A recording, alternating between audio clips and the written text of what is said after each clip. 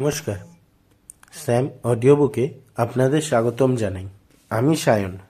আমাদের আজকের গল্প হেমেন্দ্র কুমার রায়ের লেখা কিশোর ভৌতিক সমগ্র থেকে। বাড়ি, গল্প পাঠে এবং বিভিন্ন চরিত্রে। আমি সায়ন। শুরু হচ্ছে আমাদের আজকের গল্প, বাড়ি।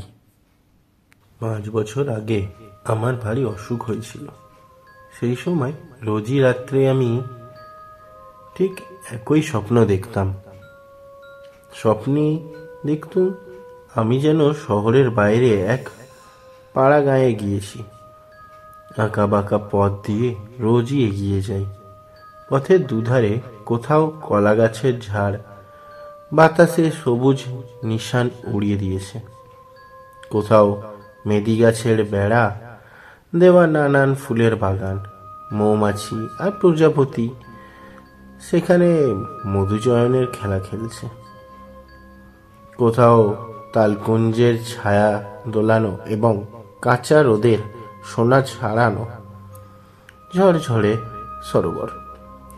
ঘাটে ঘাটে নববধূরা ঘুমটায় মুখ ঢেকে কলসিতে জল ভরে নিয়ে যাচ্ছে। পথ যেখানে ফুরিয়ে গেছে, সেখানে একখানি মস্ত বাড়ি। দূর থেকে ছবির মতো দেখাতে।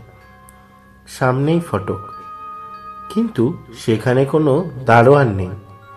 বাড়ির চারিদিকে জমিতে কত রকমের গাছ, গন্ধরাজ, বকুল রঙন শিউলি আরও কত কি। মাঝে মাঝে কেনার ঝোপে রং বেরঙের মেলা। রোজই বেড়াতে বেড়াতে বাড়িখানির সামনে গিয়ে দাঁড়াই। চোখে তার পানে তাকিয়ে থাকি। ভিতরে যাওয়ার জন্যে প্রাণে স্বাদ জাগে, কিন্তু জনপ্রাণীকে দেখতে পাই না। ফটকের কাছে থেকে চেঁচিয়ে ডাকাডাকি করলেও কেউ সাড়া দেয় না। পরের বাড়ি না জানিয়ে ভিতরে ঢোকাও ভরসা হয় না। ফিরে আসি। রাতের পর রাত যায়। আমি খালি ওই একই স্বপ্ন দেখি। বারবার, অনেকবার ওই একই স্বপ্ন দেখতে দেখতে আমার মনে দৃঢ় ধারণা হলো যে, অজ্ঞাত শৈশবে নিশ্চয়ই কারুর সঙ্গে আমি ওই বাড়িতে গেছিলাম। আমার অসুখ সেরে গেল। কিন্তু তবু সেই স্বপ্ন দেখা বাড়িতে ভুলতে আর পারছি না। মাঝে মাঝে এ দেশ ও দেশ বেড়াতে যেতাম পথে বেরোলেই চারিদিক লক্ষ্য করে দেখতাম স্বপ্নের বাড়ি খুঁজে পাওয়া যায় কিনা। একবার এক বন্ধুর নিমন্ত্রণে কুসুমপুর গ্রামে গিয়ে বৈকালে বেড়াতে একবার গিয়ে একটা গোয়া পথ পেলুম। দেখেই চিনলুম, এ আমার সেই স্বপ্নে দেখা পথ। পথের দুধারে সেই কলা গাছের ঝাড়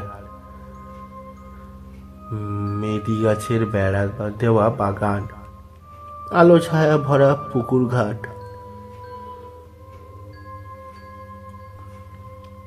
অনেকদিন অদর্শনের পর পুরনো বন্ধুকে দেখলে মনে হয় যে আনন্দের ভাব জাগে। আমার মনে তেমনই ভাবের ছোঁয়া লাগল। আঁকা বাঁকা পথের শেষে ছবির মতন সেই বাড়িখানি তাড়াতাড়ি এগিয়ে ফটকের কাছে গিয়ে দেখলাম। ডাকাডাকি করতে লাগলাম। ভাবছিলাম কারও সাড়া পাবো না। কিন্তু আমার ডাক শুনেই একজন বুড়ো দারোয়ান ভেতর থেকে বেরিয়ে এলো। কাকে চান? কাউকে নয়, এই বাড়িখানি আমার বড় ভালো লাগছে। ভিতরে ঢুকে একবার দেখতে পারি? আসুন, এ বাড়ি ভাড়া দেওয়া হবে। বাড়িওয়ালা কোথায় থাকেন এখানেই থাকেন, কিন্তু কিছুদিন হলো এ বাড়ি ছেড়ে দিয়েছেন। বলো কি? এমন চমৎকার বাড়ি কেউ ছেড়ে দেয়? ছেড়ে দিতে বাধ্য হয়েছে। কেন? ভূতের উপদ্রবে। ভূত? এই কালেও লোকে ভূত বিশ্বাস করে নাকি? দারোয়ান গম্ভীর মুখে বললে, আমিও বিশ্বাস করতাম না। কিন্তু এখন বিশ্বাস না করে উপায় নেই। যে ভূতটার ভয়ে আমার মনিব এ বাড়ি ছেড়েছেন। রাত্রে আমিও তার সচক্ষে অনেকবার দেখেছি। তার মুখ আমি ভুলিনি। অবহেলার হেসি হেসে আমি বললুম, ডাহা গাজা ঘড়ি গল্প সব। দারোয়ান বিরক্তভাবে আমার মুখের দিকে তাকিয়ে বললেন, গাঁজা গাঁজাখড়ি গল্প? অত্যন্ত আপনার মুখে এই কথা শোভা পায় না। অনেকবার যে ভূতকে আমি দেখেছি, যার মুখ আমি এই জীবনে ভুলব না। সে হচ্ছে আপনি নিজে। আমি আপনাকেই দেখেছি। আপনারা শুনছিলেন হেমেন্দ্র কুমার রায়ের লেখা কিশোর ভৌতিক সমগ্র থেকে বাড়ি গল্প পাঠে এবং বিভিন্ন চরিত্রে। আমি সায়ন। গল্পটি আপনাদের কেমন লাগল? অবশ্যই কমেন্ট করে জানাবেন। আর এই রকম গল্প পেতে আমাদের চ্যানেলটি সাবস্ক্রাইব করে পাশে থাকা বেল আইকনটি প্রেস করে দেবেন। যাতে যখনই আমরা নতুন গল্প আপলোড করব, সবার আগে আপনাদের কাছে এসে পৌঁছায়। আর গল্পটি আপনাদের কেমন লেগেছে কমেন্ট করতে ভুলবেন না কিন্তু। আমি প্রত্যেকটা গল্পের শেষে আপনাদের কমেন্টের অপেক্ষা করি। আপনারা কমেন্ট করলে আমার খুব ভালো লাগবে।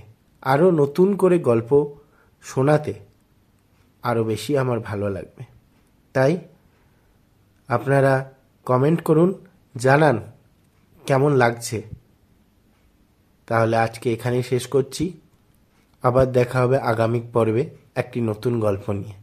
ততদিনের জন্য ভালো থাকবেন, সুস্থ থাকবেন, গল্প শুনবেন, গল্প লিখবেন, গল্প শোনাবেন, গল্প পড়বেন। ধন্যবাদ।